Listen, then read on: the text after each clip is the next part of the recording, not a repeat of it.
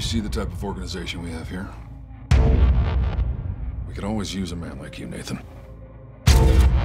Educated, war veteran, clean record. And so what's the overall objective? This is revolutionary activity we're talking about here.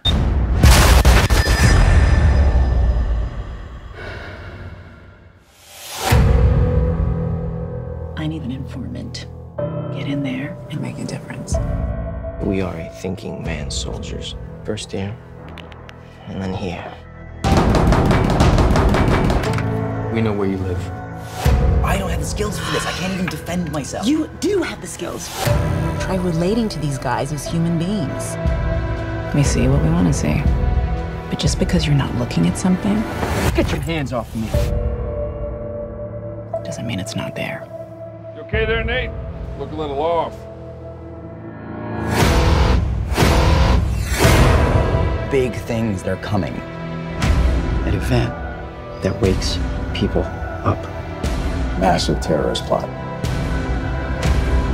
It's morning in America, and there's a new day coming. Are you a cop? These guys are fanatics. They will not be taken alive. For evil to triumph, it only takes good men.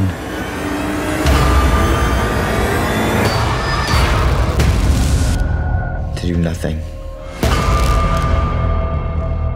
Let me ask you something, Nathan. What's your opinion on infiltration? Do you suspect someone? Ah, it's just, you know, it's like they say at these rallies. You look to the left, look to the right. You know, one of these people is a snitch.